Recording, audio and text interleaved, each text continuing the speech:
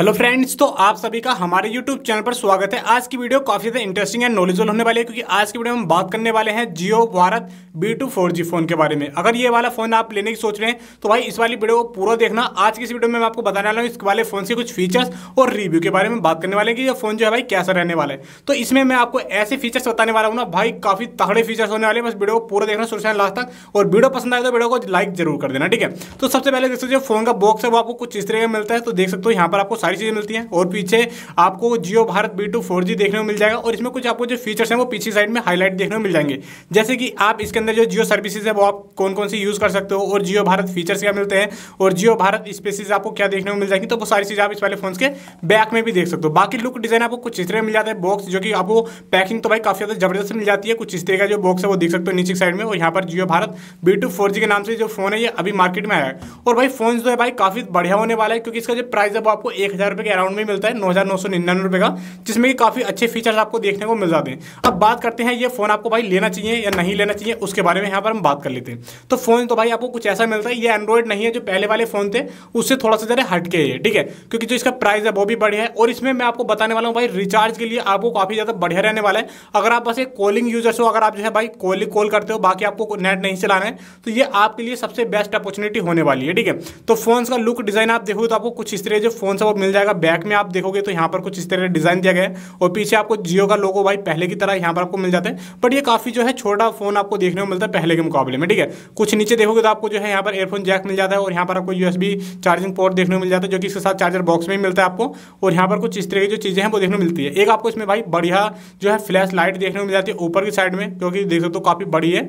और फ्रंट की बात करें तो आपको डिस्प्ले मिल जाती है और एक स्पीकर मिल जाता है। तो भाई अगर आप कॉलिंग के लिए फ़ोन ले रहे हो तो कॉलिंग के लिए भाई सबसे बेस्ट होने वाला है, क्योंकि इसमें आवाज़ जो है, वो काफ़ी बढ़िया जाती है और आपको आवाज़ जो है, वो भी काफ़ी क्लियरली यहाँ पर जो आती है, ठीक है? क्योंकि इसमें माइक भी काफ़ी अच्छे आपको यूज़ करने में, देखने वाले को मिल जाएँगे, ठीक है? साथ ही यहाँ पर आपको देखोगे तो यहाँ पर फ्रंट में, पहले वाले फोनों में क्या था कि उसमें भाई जियो मिलता था लिखा हुआ, लेकिन यहाँ पर मिलेगा आपको भारत, ठीक है? तो भारत आपको देखने को मिल जाएगा, जो कि काफ़ी बढ़िया लगता है और अट्रैक्टिव जो है लगता है। और फ़ोन की बात करें तो भाई काफ़ी स्मॉलेस्ट फ़ोन है, काफ़ी छोटा फ़ोन है, देख सकते हो कीपैड भी काफ़ी बड़े है। और पहले वाले फोनों में भाई सबसे ज़्यादा प्रॉब्लम आई थी, वो कीपैड को लेकर के थी, इसलिए ज़्यादा लोगों ने भाई यूज़ भी करे, लेकिन प्रॉब्लम्स बहुत जल्दी मिल रही थी, लेकिन इस वाले फ़ोन में आपको कोई भी प्रॉब्लम देखने को नहीं मिलेगी, क्योंकि जो इसका कीपैड है वो काफ़ी बढ़िया देखने को आपको मिल जाता है। साथ ही यहाँ पर आपको मेन्यू देखोगे तो आपको जो है नॉर्मली फ़ोन जैसे यूज़ करते हो कीपैड वाले, वही सारी चीज़ें मिल जाती हैं आपको। तो इसमें आपको जो खासियत लगेगी वो क्या है, अच्छी चीज़ें क्या है वो आपको बताता हूँ, क्यों आपको ये परचेज करना चाहिए।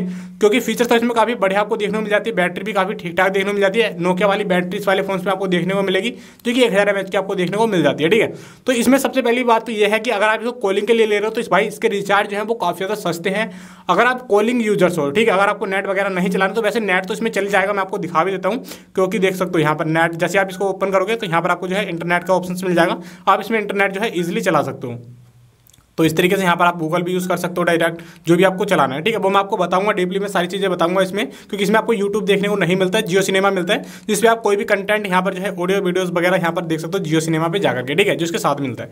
अगर इसके रिचार्ज की बात करें, अगर आप इसमें कोई भी सिम यूज़ करोगे जियो का सिम यूज़ होगा, और इसमें जो रिचार्ज की बात करें इस वाले फ़ोन में तो वो आपको मिल जाता है एक सौ का रिचार्ज मिलता है, जो कि आपको एक महीने के लिए वैलिड रहने वाला है, ठीक है? अगर आप इस वाले फ़ोन में एक सौ का रिचार्ज करा दो तो आप भाई एक महीने चला सकते हो, और इसमें आपको पाँच सौ पर डे का मिलेगा। और एक साल के रिचार्ज की बात करें तो वो आपको बारह सौ चौंतीस रुपये में मिल जाएगा। एक साल आप जो है बिल्कुल फ्री चला सकते हो, काफ़ी बढ़िया। और फ़ोन भी काफ़ी ठीक ठाक है, क्योंकि एक हज़ार रुपये का आपको फ़ोन मिल जाएगा और बारह सौ चौंतीस रुपये आपका रिचार्ज होगा, यानी दो हज़ार रुपये में वही आपको पूरा साल निकल जाएगा अगर आप कॉलिंग यूज़र्स हो, ठीक है? अगर आपको किसी को भाई प्रोवाइड कराना है, किसी को देना है फ़ोन फैमिली मेंबर में या किसी फैमिली मेंबर को, किसी को भी तो भाई उसके लिए भी काफ़ी बेस्ट फ़ोन जो है होने वाला है चलाने में। बाकी इसके फीचर्स की बात कर ले तो डिस्प्ले तो आपको थोड़ी सी छोटी मिल जाती है देखने को, बाकी देख सकते हो इस तरीके जाना है। और यहाँ पर आपको जैसे सेटिंग्स में जाओगे सेटिंग्स में जाने के बाद आपको डिस्प्ले में जाना है। डिस्प्ले में जाने के बाद यहाँ पर स्क्रीन ब्राइट मिलती है। तो आप इसकी जो स्क्रीन है, इसको आप भाई बढ़ा भी सकते हो। मैंने कम कर रखी है, देख सकते हो। तो काफ़ी ज़्यादा लाइट यहाँ पर हो जाती है कुछ इस तरीके से। तो इसको मैंने कम कर लिया। कितनी भी कम कर सकते हो, इसको ब्राइटनेस को ज़्यादा बढ़ा सकते हो, ठीक है? तो इसको हमें अभी इतने पर रहने देते हैं, जिससे कि हमें थोड़ी चीज़ें क्लियरली दिखाई दे। बाकी इसमें जो है आप कनेक्टिविटी में जाकर के अपना जो नेट है फ्लाई मोड वगैरह, ये चीज़ मिल जाती है। ब्लूटूथ आप इसको ऑन कर सकते हो।